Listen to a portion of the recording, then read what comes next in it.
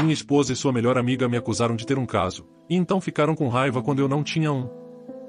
Sejam bem-vindos a meu canal de histórias do Reddit, nobres cavaleiros e damas. Se inscrevam no canal e ativem as notificações. Assim vocês me ajudam um bocado e não perdem os novos vídeos. Fiquem agora com a história e ao final, deixem suas opiniões nos comentários. Eu tenho 31 anos e minha esposa 29. Tivemos um bebê em dezembro passado. Foi um parto traumático e minha esposa desenvolveu depressão pós-parto. Embora ela originalmente fosse voltar ao trabalho após o parto, ela tem se esforçado tanto que decidimos esperar até que nossa filha tivesse um ano de idade e então avaliaríamos novamente. Ela tem feito terapia semanalmente, com minha esposa em casa em período integral, tive que trabalhar mais horas. Isso é algo que discutimos antes de tomar essa decisão e ela sabia disso desde o início. Algumas semanas atrás, meu chefe me abordou sobre um projeto que exigiria muitas horas extras em um curto período de tempo. Seria ótimo financeiramente ótimo para minha carreira. Conversei com minha esposa sobre isso e ela concordou que eu deveria dizer sim ao meu chefe. Durante as quatro semanas em que estaria trabalhando nisso, minha sogra e sua melhor amiga, Jessie, viriam ajudar com algumas das tarefas que normalmente faço. Jessie é uma dona de casa com uma criança de 4 anos e uma de 2 anos. Ela começou a vir durante o dia e cuidava das crianças com minha esposa.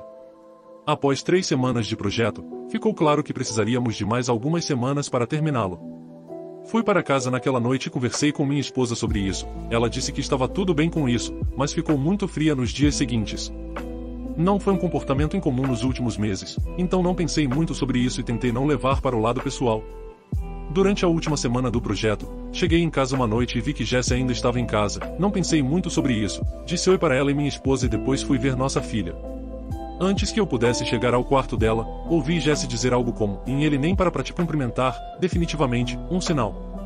Eu me virei e perguntei o que era um sinal, imediatamente, minha esposa começou a chorar e Jesse começou a me acusar de ter um caso. Ela me disse que devo odiar minha esposa porque ela tem depressão pós-parto e não me sinto atraído por ela porque ela ganhou peso com a gravidez. Nenhuma dessas coisas é verdade. Estou tentando o meu melhor para ajudar minha esposa com sua depressão pós-parto, enquanto sustento nossa família. E eu acho que ela está ótima como está agora, ela só não tem desejado fazer sexo e eu não insistia. Jess então exigiu ver meu telefone, eu disse a ela que não. Ela me disse que isso é um sinal de que sou culpado, eu disse a minha esposa que a deixaria ver meu telefone se ela quisesse. Ela assentiu e algo dentro de mim quebrou. Acho que foi o pensamento de que ela realmente acreditava que eu estava tendo um caso que realmente mexeu comigo, e que ela não confiava em mim depois de tudo o que passamos. Bem, ela fuçou meu telefone e não havia provas. Jesse começou a dizer que apaguei as provas. Ela começou a gritar e acordou nossa filha. Então eu disse a ela para sair da minha casa. Por fim, ela saiu e eu fui acalmar nossa filha, pois minha esposa ainda estava chorando no sofá. Quando minha filha estava dormindo novamente, me sentei ao lado de minha esposa e tentei conversar com ela sobre o que estava acontecendo. Ela me disse que está preocupada desde que comecei a fazer horas extras. Eu disse a ela que havíamos conversado sobre como era uma boa oportunidade e ela concordou em me deixar assumir este projeto. Ela disse que era muito suspeito aumentar a duração do projeto.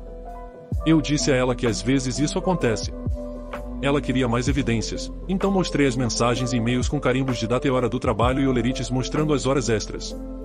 Ela disse que acreditava em mim e sentia muito por duvidar de mim, era só que Jesse estava dizendo a ela que todos esses eram sinais de que o estava traindo. Perguntei a ela por que ela acreditava mais em Jesse do que em mim, e por que não me procurava com suas preocupações. Ela realmente não tinha uma resposta. Já se passaram algumas semanas e o projeto acabou.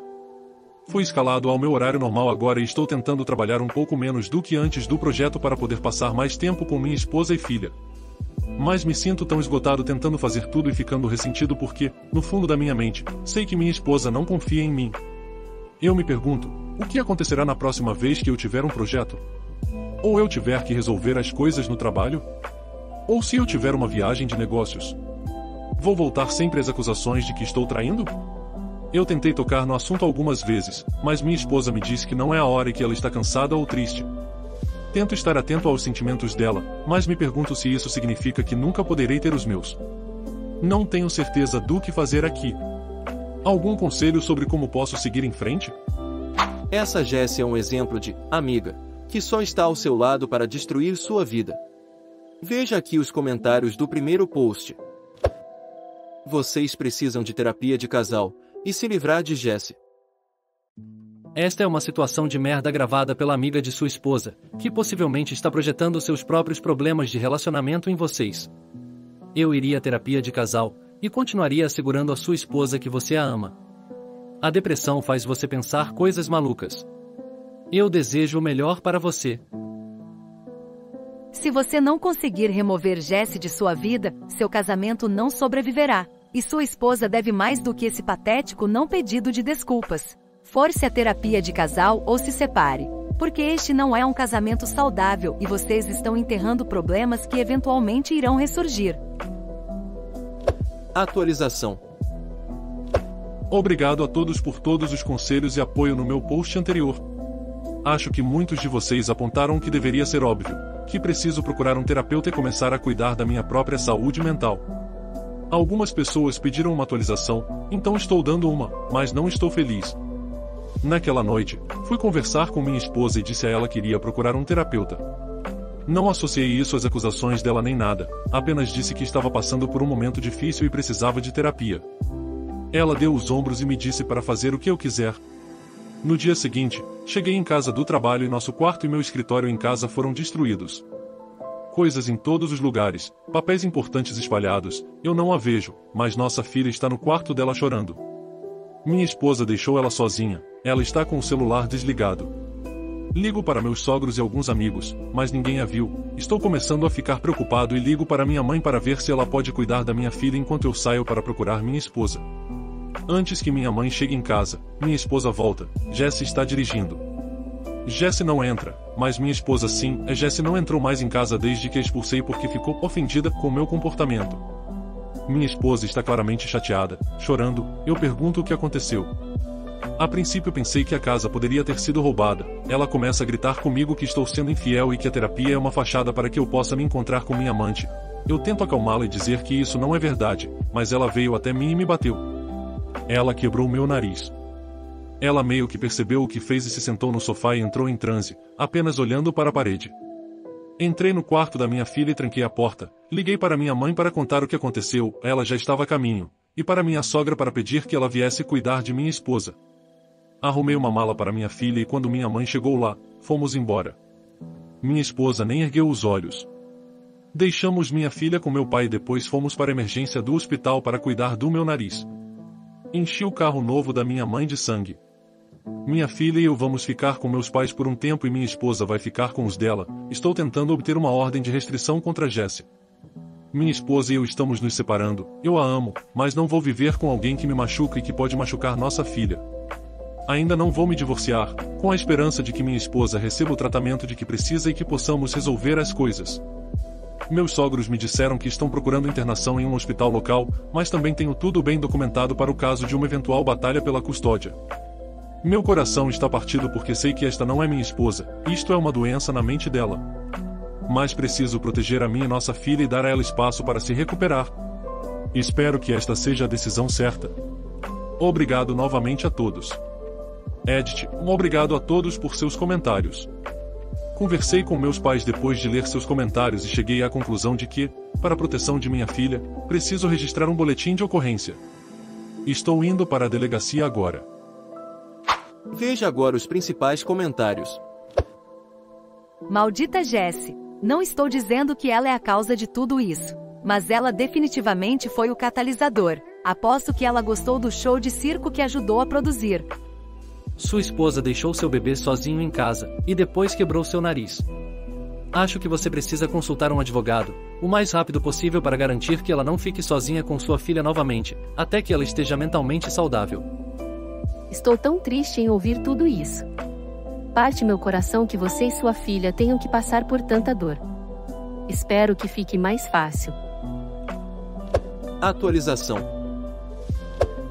Devo deixar a mulher que culpo pela morte de minha esposa falar em seu funeral? Há mais contexto para esta situação no meu histórico de postagens. Minha esposa faleceu na manhã de segunda-feira.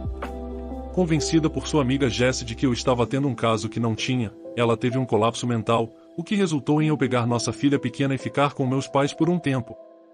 Ela estava com os pais dela, que planejavam levá-la ao hospital para internação na segunda-feira. No domingo à noite ela veio à casa dos meus pais e exigiu que eu lhe desse nossa filha. Como ela havia deixado sozinha por várias horas na última vez em que foi responsável por ela, e me agrediu fisicamente, recusei. Me ofereci para deixá-la entrar e passar um tempo com ela enquanto meus pais e eu estivéssemos presentes, mas ela não quis entrar e quis levar nossa filha com ela. Ela ficou chateada, mas acabou saindo. Algumas horas depois, ela bateu o carro de seus pais em uma árvore e morreu. A amiga, Jessie, veio ver minha filha e eu ontem. Depois de algumas lágrimas, ela me disse que planejava falar no funeral de minha esposa.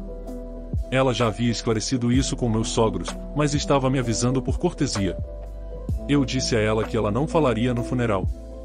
Nós brigamos e ela foi embora depois de me dizer que eu era um idiota e não era a única pessoa que amava a minha esposa. Conversei com meus sogros, que insistem em que Jesse tenha permissão para falar. Ela e minha esposa se conheciam desde crianças e meus sogros são próximos dela. Estamos todos muito frágeis agora e temo que levar isso adiante prejudique meu relacionamento com meus sogros, o que não quero. Ainda assim, a ideia de ver Jessie lá em cima no funeral da minha esposa me deixa enjoado. Acho que não suporto ouvi-la, sabendo que ela ficou feliz com a deterioração da saúde mental de minha esposa e a levou, deixando minha filha sozinha em casa. Dito isto, não confio em mim mesmo para tomar as melhores decisões agora.